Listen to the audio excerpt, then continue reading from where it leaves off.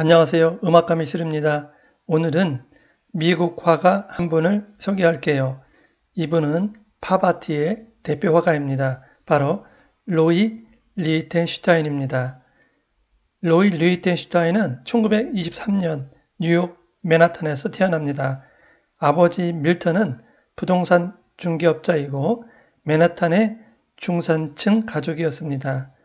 12살까지는 공립학교에 다녔고 그 이후 드와이트 스쿨을 다녔고 17살에 졸업합니다. 당시 그는 재즈 음악을 좋아해서 할렘의 아폴로 극장에서 열리는 콘서트에 자주 가게 됩니다. 그곳에서 악기를 연주하는 음악가들의 초상화를 자주 그리게 됩니다. 그 이후 뉴욕 아트 스쿨에서도 공부하게 됩니다. 부모님이 미술할 경우 교원 자격이 취득 가능한 대학을 가라고 권유해서 미국 오하이오주 주립대학에 들어갑니다.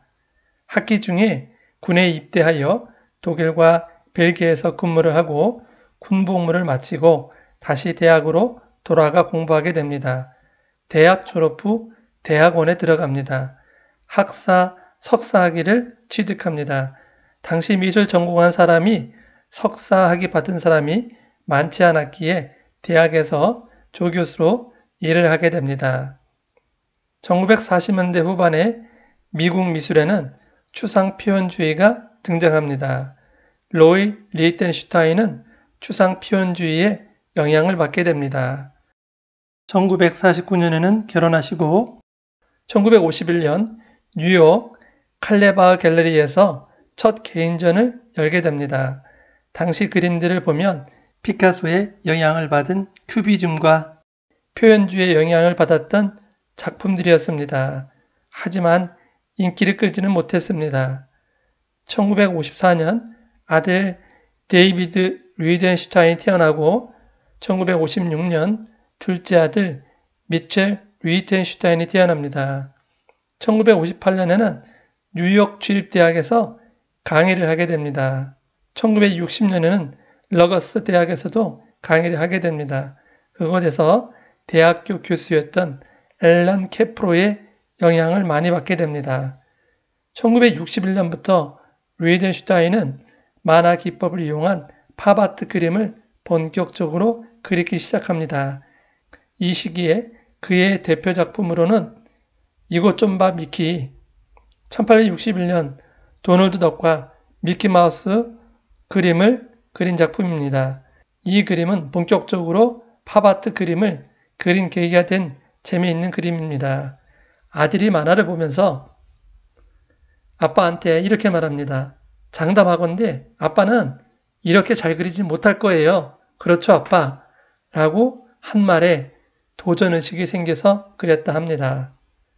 당시 세계는 2차 대전 이후 산업이 발달하여 만화처럼 단순하면서 강력한 인상을 주는 산업예술이 필요했던 시기였습니다.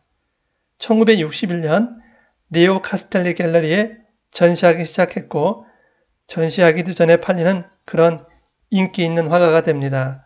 1963년에는 럿거스 대학을 휴직하게 됩니다. 그리고 더 많은 팝아트 작품을 그리게 됩니다. 만화를 소재로 하여 회화로서 발전을 시킨 것이 팝아트인데 팝아트는 popular art, 대중미술이라 했고 이것을 줄여서 팝아트라 불리게 됩니다. 그리고 팝아트를 그리는 화가들을 pop artist라 불리게 됩니다. 1961년 팝아트 초기 작품으로는 키스라는 작품입니다. 구스타프 클림트 그림과 흡사한 면이 있습니다. 1963년과 1965년 사이에는 만화를 배경으로 한 팝아트 작품들을 많이 제작하는데 롤 리텐슈타인은 단순화된 형태와 뚜렷한 윤곽선이 특징이고 흑백과 밝은 원색을 사용하여 강렬한 이미지를 주고 있습니다. 거기에 말풍선을 사용하여 사회 비판이나 화가의 내면의 의사 전달을 확실히 하고 있습니다. 이 작품은 1963년에 그린 물에 빠진 소녀라는 작품입니다. 위에 말풍선의 내용은 브래드에게 도움을 청하느니 차라리 물에 빠져 죽겠어. 만화 작품을 보고 그린 작품입니다. 이 작품은 절망이란 작품입니다.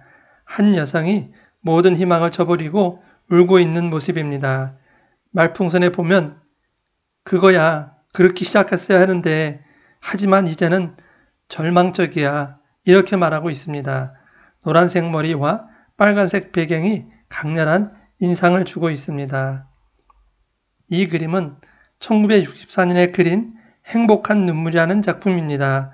삼성 특검으로 우리에게 많이 알려진 작품이고 본인의 창작으로 그려진 작품은 아니고 다른 작품을 따라 그린 작품입니다. 하지만 고가의 경매로 팔린 작품입니다. 이 작품은 음, 어쩌면이란 작품이고 화면 속에 금발 여성의 말풍선에 어쩌면 그가 아픈 것 같다. 스튜디오를 떠나지 못할 거야.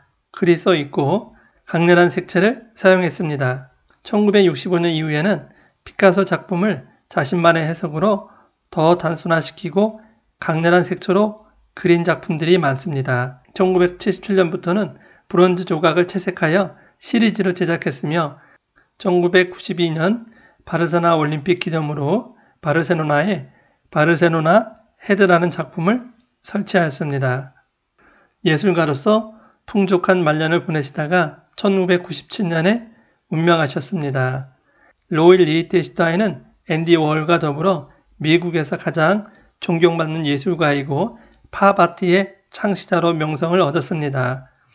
로일 리히텐슈타인은 우리 주변 일상에서 저급하다고 하는 대중문화를 예술로 성화시켰다고 볼 수 있습니다.